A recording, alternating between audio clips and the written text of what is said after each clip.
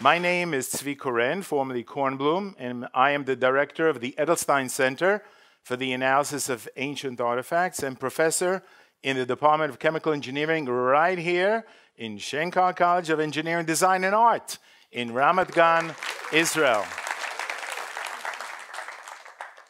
We are surrounded by colors.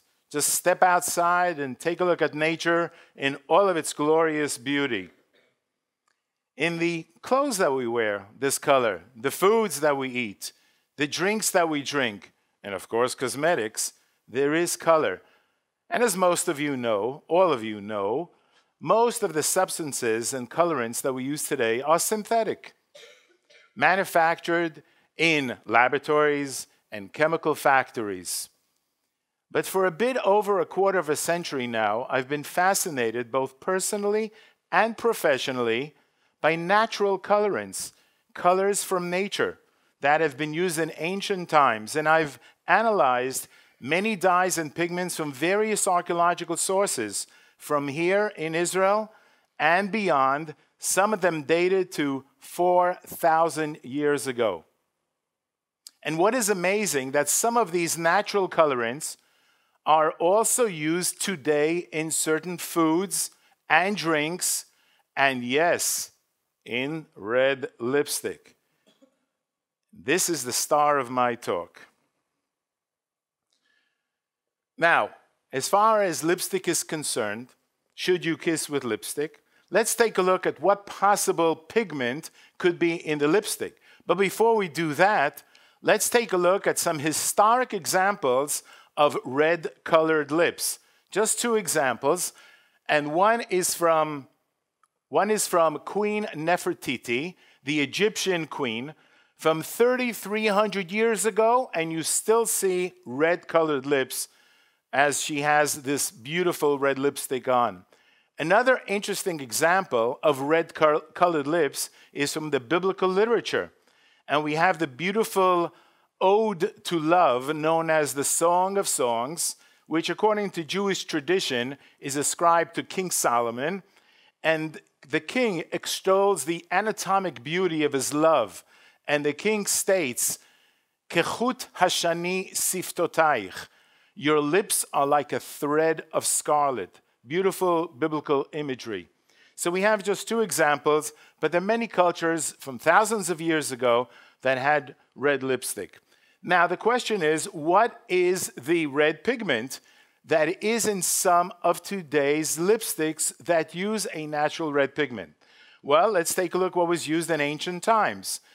The most popular red colorant is known as madder. From this particular plant, and you could see the roots of the madder plant, a beautiful red dye can be extracted for dyeing of textiles, as well as converting it to a pigment for artistic paintings, which has been done in ancient times and historic times. And the textiles that you see over here are, and the colors are beautiful, are 2,000 year old textiles from the famous King Herod's uh, fortress palace at Masada and from other areas of the Judean desert. All the reds and the purples that you see in these archaeological textiles were dyed with the madder plant. So, is madder the natural red colorant in today's lipsticks? No. Then what else could be? Well, another famous plant, my favorite plant, is safflower. And safflower, as you can see, has both a yellow and a red components. And the ancient dyer was an advanced chemist. Yes, an advanced chemist by manipulating the pH of the dye solution, he or she were able to selectively extract first a yellow dye and then afterwards a red pinkish dye that you can see from these modern dyings. And safflower, by the way, has two very noteworthy historical notes. Number one, the earliest Japanese kimonos, the red Japanese kimonos, are said to have been dyed with safflower red. Now, how can safflower, which is native to the Levant, that's our part of the Middle East, Did, how did it get to Japan? Well, historians say that about 2,000 years ago, the safflower went to China first by the reverse Silk Route, and then about five centuries later, made its way to Japan. So, next time you go to museums and you see historic red uh, Japanese kimonos, think of safflower red. Another interesting aspect that deal with safflower, its wondrous properties, is from the Talmud. And the Talmud is a multi volume work that contains explanations and discussions of Judaic laws that are mentioned in the Bible, and it also has a lot of interesting folklore. In that Talmud, the third century rabbis, two of them, are discussing safflower as an aphrodisiac. Yes, rabbis discussing safflower as an aphrodisiac 1800 years ago. Cool rabbis, we need them today too. What did they say? One rabbi said, I know, this is an adult audience, right? I know what can give a man and reinvigorate him to give him some, um, to increase his sexual drive, let's say. And he said, this rabbi, Abaye is his name, he said, You take three cups of safflower, you crush them, you put wine in it, and then you boil the mixture and you drink this love potion. Well, did it? Uh, that gentleman is writing it down. That's three cups of safflower. Okay, three cups. Tell me tomorrow morning how it works. Did it work? Well, according to another rabbi in the third century, he said, well, this is not a verbatim quote. Oh, yeah, did it work? It definitely brought back, rejuvenated my youthful sexual prowess. Third century rabbis, could you imagine them discussing it today? Anyway, is safflower red the natural pigment that is in some of today's uh, lipsticks? And if so, Think about it. If so, if some of it gets into your mouth, it might uh, arouse you. You know what I mean?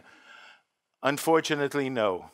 So, what could be the natural component, natural red, in today's lipsticks? Well, let's go to, if we're talking about the Talmud, let's talk about the Bible.